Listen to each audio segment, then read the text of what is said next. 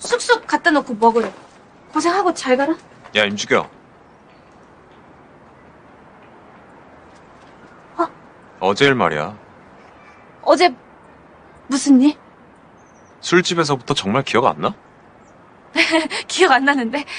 뭐 내가 혹시 너한테 키타 부렸어? 진짜 안 난다고? 야 진짜지 그럼 내가 너한테 거짓말을 왜 하겠니? 자꾸 기억 안 나는 척 할래? 기억 안 나는 척이라니 전혀 기억 안 나는구만. 우리 키스했잖아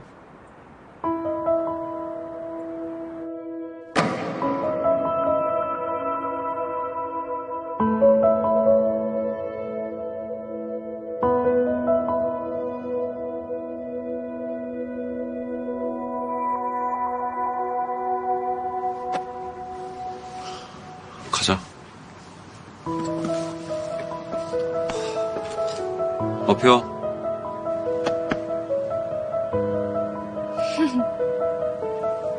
가자. 집에 가자. 홍 여사님 기다리셔. 응. 으, 가자. 야 키스 안 했거든 우리? 하나도 기억 안 난다면서 그건 어떻게 알아? 어?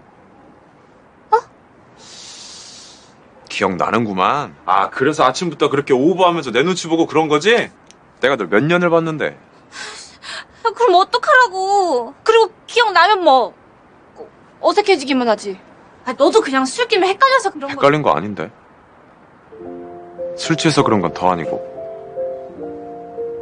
하, 그래 언젠간 말했어도 어제처럼 어이없게 말할 건 아니었는데 네가 자꾸 세니 얘기하니까 확 열받아서 이게 무슨 소용이냐 그래 차라리 잊어라 잊어. 다 잊고 기다려라. 제대로 다시 고백할 거니까